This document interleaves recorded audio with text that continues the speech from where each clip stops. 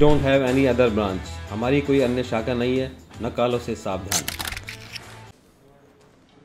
First of all Jai Hind all of you let me introduce myself my name is Mohit Chahar I am from Agra and presently i am doing training in nda and uh, after my 12th class i went to dda in Dehradun I took coaching from there and that really helped me to improve my personality and my academics also. When I came to DDA in 2017, at least four years back, it was there at other place. Now I see the infrastructure also here is totally changed, and the SSB ground in the DDA has totally changed. Because when I came here, SSB ground was not there. Only SSB guidance was there.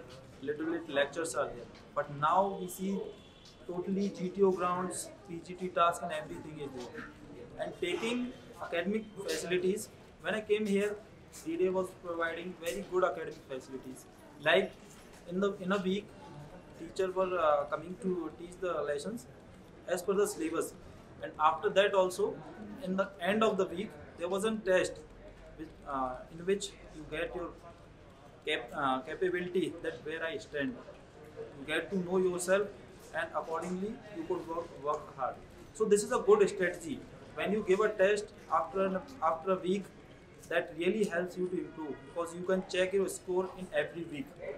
So really, it is providing good academic facilities also. And SSB ground I see is really very identical to GTO grounds in SSB also. And uh, for uh, NDA, mainly you have to be focused and you have to be confident and you have to be original, whatever you are. You have to be natural. Before coming to N- uh, before going to NDA, I have also served in Indian Navy for a little time, and from there I keep focused. There was a fire in me to go to NDA, and I got it by my determination and hard work. And it is not tough. Let me tell you, NDA is not tough.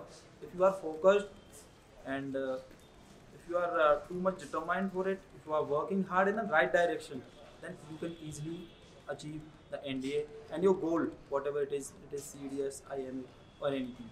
It is very easy. Let me tell you, after getting rejected from the SSB, you may feel that it is very tough. No, you have to just recognize yourself and work hard in a right direction. People work hard, but they do not go in the right direction. They don't know the right path.